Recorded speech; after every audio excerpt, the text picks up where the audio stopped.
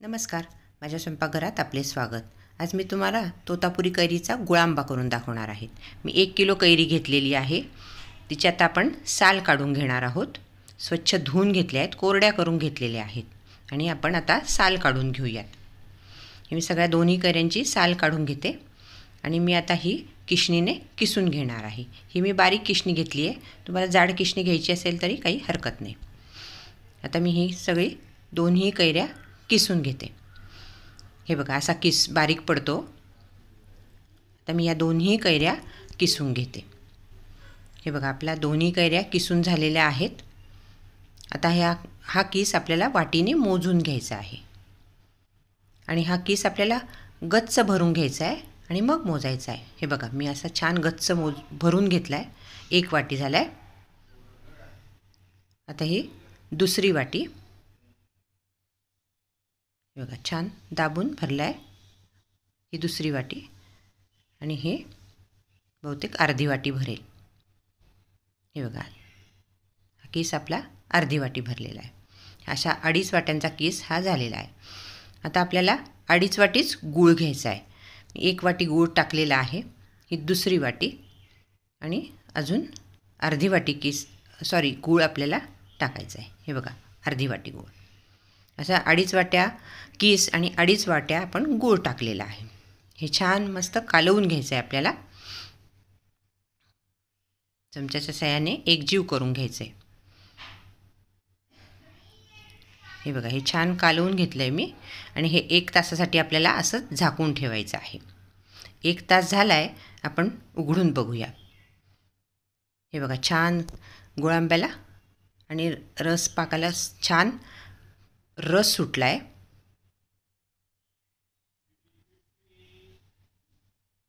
हे बघा मस्त रस सुटला आहे काही गुळाचे खडे आहेत पण ते शिजवताना विरघळतील. आता आपण एका नॉनस्टिक कढईत एक चमचाभर तूप घेतलेलं आहे. स्टील नॉनस्टिक कढई घ्या किंवा स्टीलची कढई घ्या. कुठली कढई घेतली तरी चालेल. ॲल्युमिनियमची किंवा पितळेची फक्त घेऊ नका.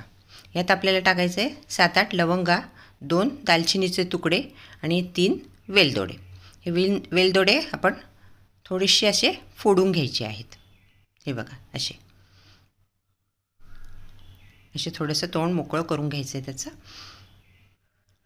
आता तूप तापलं आहे आपलं आपण त्यात फोडणीसाठी टाकूया.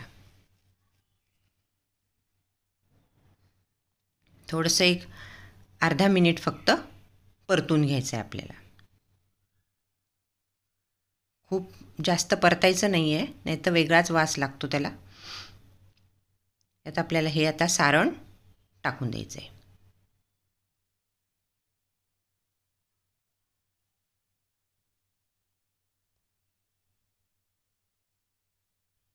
आणि छान परतून घ्यायचं आहे आपल्याला. शिजवून घ्यायचं आहे आपल्याला.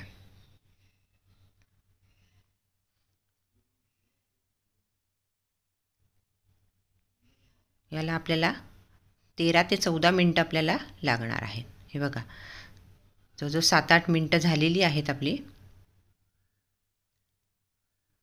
हे बघा मस्त झालं आहे बघा.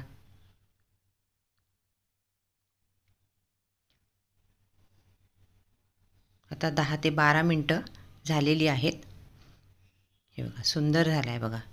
रंग पण किती सुंदर आला आहे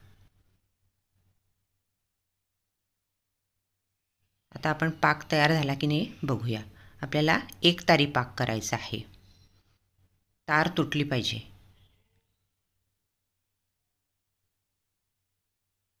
हे बघा तार तुटते की नाही? आपला गोळांबा होत आला आहे आता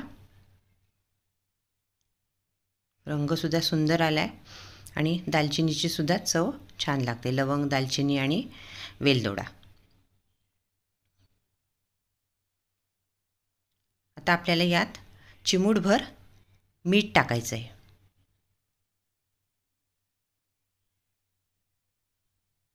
आणि एक टीस्पून आपल्याला सायट्रिक ॲसिड टाकायचं आहे सायट्रिक ॲसिड टाकल्यामुळे साखरांबा अजिबात खराब होत नाही आणि टेस्टसुद्धा खूप छान लागते. अगदी थोडंसं टाकायचं आपल्याला एक टीस्पूनभर आणि छान कालवून घ्यायचं आहे आपला गुळांबा. वा काय मस्त झाला आहे बघा कलर केशर वगैरे आपण काहीही घातलेलं नाही आहे आता हा गुळांबा पूर्ण गार झाला आहे आणि थोडासा घट्ट पण झालेला आहे. आणि कलरसुद्धा सुंदर आला आहे एका बाऊलमध्ये काढून दाखवते तुम्हाला. पोळीबरोबर ब्रेडबरोबर खूप सुंदर लागतो हा. हे बघा सुंदर झाला आहे आपला गुळांबा. वा. असा गुळांबा झटपट होणारा गुळांबा आपणही नक्की करून बघा खाऊन बघा आणि आपल्या प्रतिक्रिया मला नक्की कळवा. हा एक किलोचा गुळांबा तयार झाला आहे. हे बघा किती सुंदर दिसतो आहे